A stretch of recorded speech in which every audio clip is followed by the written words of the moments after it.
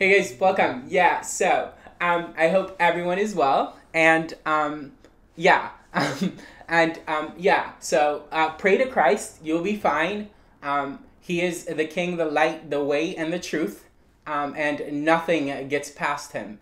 Uh, so just follow Christ. Don't be like the fools who think they're in control.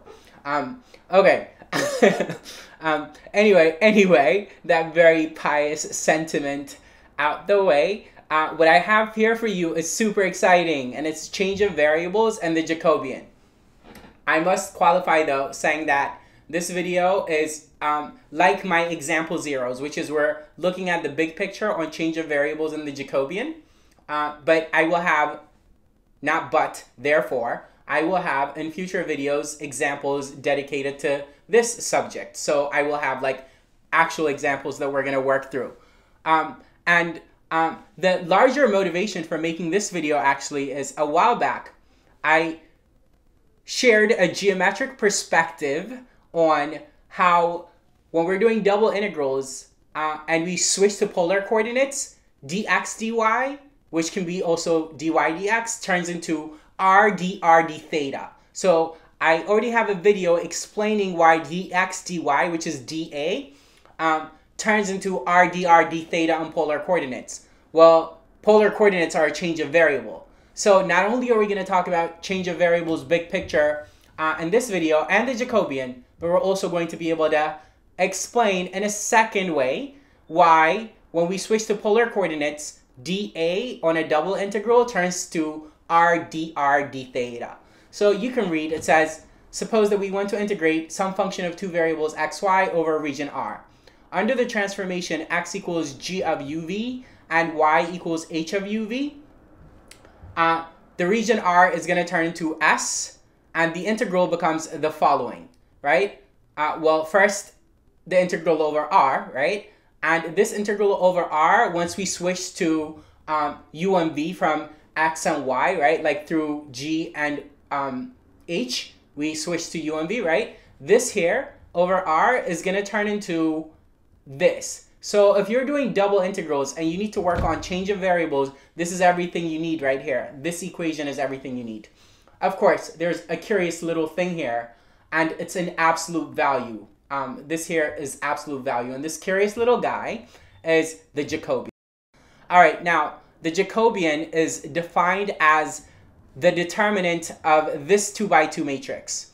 Uh, so the partial with respect to um, u of x and the partial with respect to v of x, whatever the variables u and v may be, and then the partial with respect to u of y, okay, you can read. And also, I have many videos in linear algebra explaining 2 by 2 determinants, but uh, if you don't already know, what we do is we multiply this and this, and then we subtract uh, the product of these two. What I'm saying is uh, the determinant here can be written like this, right?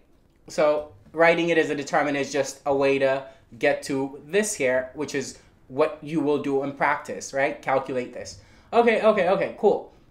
So as I said, switching to polar coordinates, my coordinates, I thought that was a bit cheesy. So uh, it was one of the slides that said my coordinates. It's not. So I took it out. Um, okay, but as I said, uh, this little fella is called the Jacobian. And uh, when we change to polar coordinates, uh, the variables we're going to change into are r and theta, not u and v, right? We're going to switch to r and theta. Specifically, x is going to become r cosine theta and y is going to become r sine theta. But notice, in becoming r cosine theta, x is a function of two variables, r and theta, and likewise with y, right?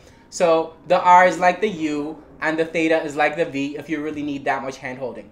Um, okay, um, so then what we're going to have is that uh, the Jacobian, well, will first require that we calculate these partials, partial with respect to r of x, partial with respect to r of y, and you get it, you get it. And I have videos dedicated to partial derivatives, so this is not the place to talk about how I got these things. If you need help, watch the videos on partial derivatives.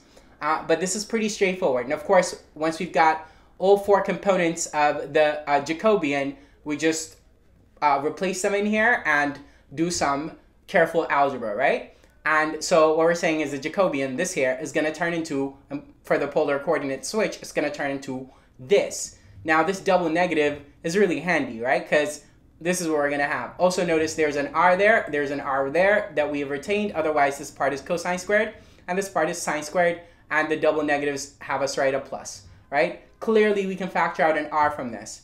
And when we do factor out an r, what we're going to get is, well, first the factoring of the r, and then otherwise the result, right? We're just going to get simply r. Now, important, important, important.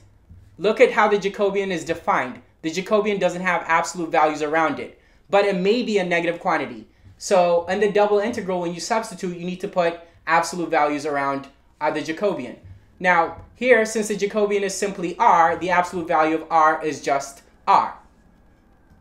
So then, if we make some space and finish, what we're saying is uh, that this double integral over uh, the region r is going to turn into a double integral over some other region s. All we're saying in writing r and s is that the region R is going to be transformed. Uh, yeah, because you're changing the variables to a different set, right? Um, but yeah, otherwise, as I said, the Jacobian turns into the absolute value of R, which is simply R. Other, uh, other than that, the rest of dA and the change of variables is going to be dr d theta. And of course, dA and uh, the rectangular coordinates was dx dy or dy dx, whichever is more convenient to integrate first, right? um, the way it's written right now, uh, just a quick note, is that we have to integrate with respect to x first and then y, but sometimes it may be convenient uh, to integrate with y first and then x. So feel free to write uh, dA as um, dy dx, and similarly in this part, you could write d theta in front of dr, but they're in a product. But crucially, in front of them is this little r. And so our um, question was, why does this r come about? Well, as I said in a previous video, I gave you a geometric perspective on why this R has to be there. And here, there's an algebraic um, uh, reason, and that's the Jacobian, right? Okay, cool. I hope you enjoyed this. Lots more to come. Um, yeah, keep watching. Take care.